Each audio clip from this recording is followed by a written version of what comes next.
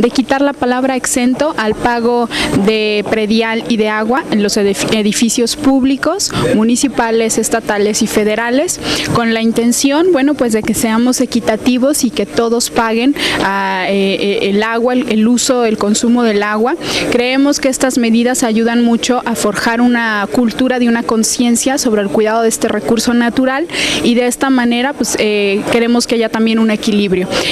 de aprobarse esta reforma que el día de hoy se presenta al Pleno ya por la por la respectiva comisión, eh, se pasaría inmediatamente haciendo la suya Durango para presentarla al Congreso de la Unión. Y bueno, pues esta, esta es una de las etapas que lleva este proceso legislativo. Nosotros esperemos que nuestros diputados federales puedan considerar eh, el estudiar esta iniciativa que yo creo que llegará a, ayudará mucho en los procesos que se tienen que seguir en las